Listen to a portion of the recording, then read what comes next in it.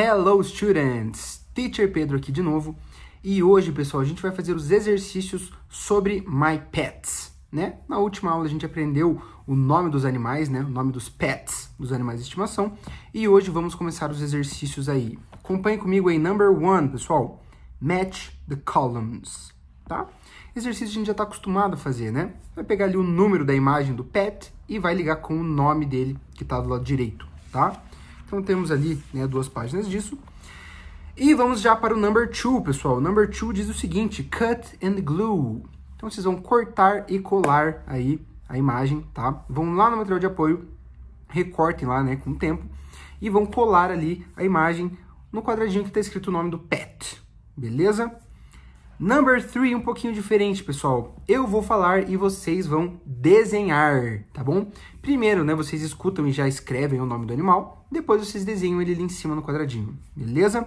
Acompanhe comigo aí na sequência, pessoal. Vou dar um tempo para vocês anotarem aí, tá bom? Vamos lá. Dog. Dog. Number two. Cat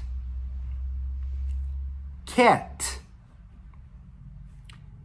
Number three, fish, fish.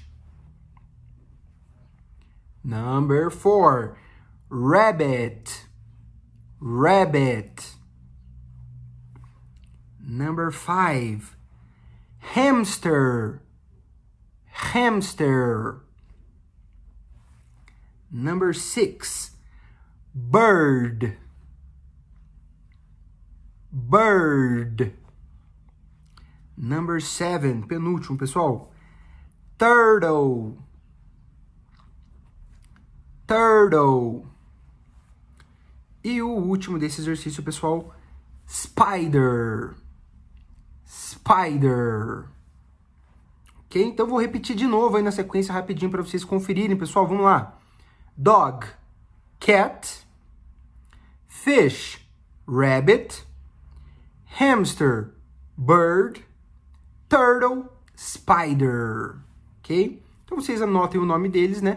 E depois fazem um desenho nesse quadrado aí pra gente, ok?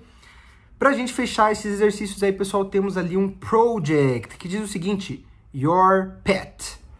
Então aqui, pessoal, vocês têm uma folha em branco ali para vocês falarem aí, escreverem, desenharem, pintarem aí o pet de vocês tá? Então vamos pegar aí o animal de estimação que se vocês tiverem, né?